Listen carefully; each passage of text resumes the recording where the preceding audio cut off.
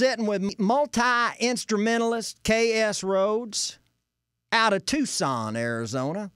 Yeah, I was Right? born, I was born there. You're born there. How long were you in Tucson? Probably like a year. Yeah. I moved a lot. So I moved I, right when we left Tucson. We moved to Colorado, Michigan, North Carolina, a lot of a lot of places. Did the music start happening for you when you were in high school, or were you younger? I would say it started um, uh, it started in elementary school on the blacktop because hip hop had just gotten hip hop was huge at the time, and so I think it started with um, thro- probably the first thing I ever did was like you know just making up songs and freestyling.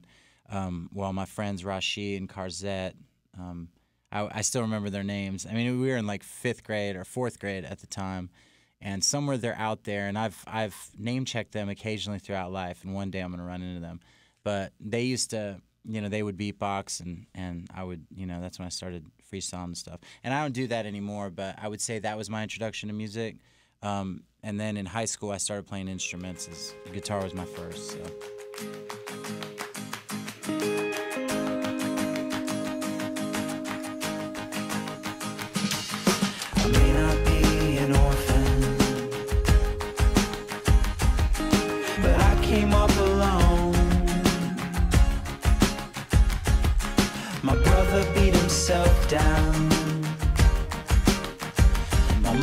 Herself to the bone. the way guitar happened was I was like playing video games at my friend's house and I looked in his closet and he had this electric guitar and this electric amp and they were just shining in there and I was like I want one of those. I mean, who what kid didn't want an electric guitar? And I had no intention of even learning it. Um, so then I took it home and I bought it with the Christmas money that I didn't spend on my family for Christmas. My mom was very pissed off about it. Um, and so I used my like my forty dollars. I think that's how much it was. Bought got a guitar and an amp, so I didn't get my mom or my brother anything for Christmas. Um, it's, that's pretty terrible, actually. Do you still hear about that today? Do you still hear about you buying the guitar? Oh Instead yeah, I mean, my, if my mom was here, she'd be like, "He took his Christmas money and he bought his own guitar with it." Shall know my son. They say your sins are passed down to you. And I'm battling everyone. Oh.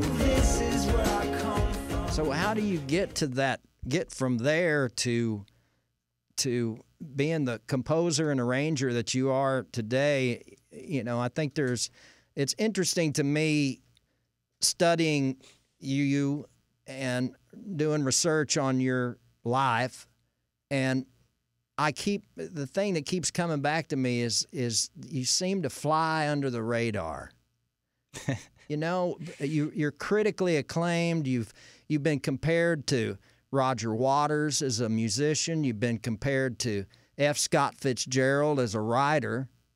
You know, but yet, uh, and I listen to your music and I am blown away by the spectrum of how far it goes from all the way over here to all the way over there, you know?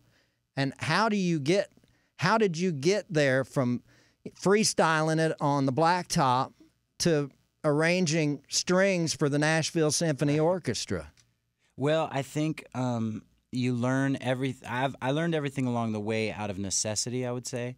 Um, as far as the string arranging goes, I in college I got my had my first violin player in, in, in a band that I was playing in, and I would want it. I just instantly wanted him to play certain stuff. You know, I guess that's how any composer starts. Is they're like, I hear this, will you play this? Right. Um, and luckily, he was terrible at improvising. Like if we were playing a show and and it was time for him to just go off, it was like rough. It was rough. And we would just be like, "Where did you go for the past like minute?" And um and so I started learning like I mean as basic as it was, I would I had this drummer friend and he you know he knew times that the the time was a big part of writing music. It was you know the very first thing you're like, how do I how do I make how do I write an eighth note? How do I write a sixteenth Right. note? What is an eighth note? You know. Um, and so I would call him all the time. Oh,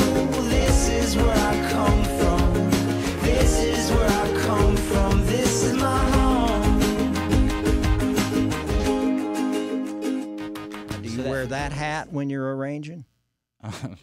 I guess I don't know. I have a lot. I have many. Is that your arranger hat? This is just my new hat that I've been wearing this past couple weeks because um, I don't know. I'm sort of all the all the hats are. There's so many hats. I don't know even know what I'm talking Well, about. right mo- of course you do. Most of the time, I see you with a with what I call a tamasham. Now, is that what that's called? The one like that's a newsboy. yeah, Yeah. I call that the tamasham. But maybe the tamasham's the one with the button in the front. Your, does yours have a button in the front, a snap It in the does. front? Is that a different Well, maybe it is a tamasham. Oh, I don't know. Tam Sham? Forgiveness is a medicine. Oh, and doubt is just a heavy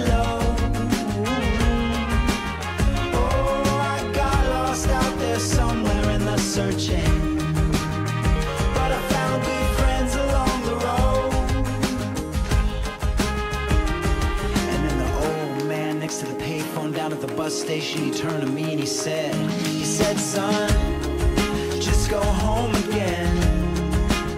Oh, cause the place where you'll end up finding what you're looking for. Oh, it's just the place where you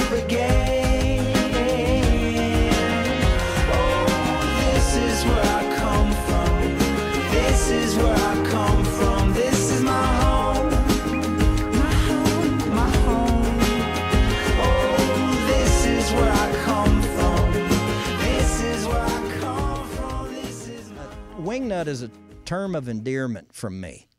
If you're a wingnut, that means I like you a lot. Uh-huh.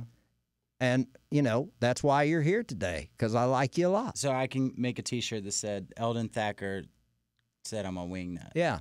Wingnut, Thackerbacker on the back. Thackerbacker. Yeah. You can do that. Find me somebody to print those up, and you can have all the t shirts you want. Excellent.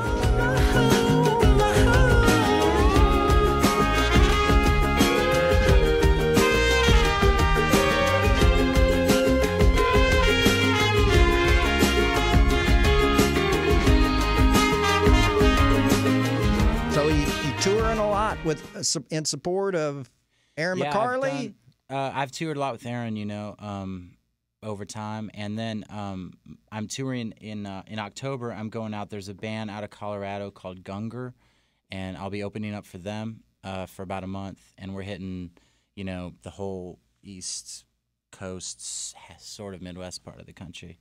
KSRhoads.com. Yeah. That's where you want to look for this man right here, man. You're one of my favorites. You really are. Appreciate it. I appreciate I'm you coming in. Be here today. All right. Thank you. Yeah.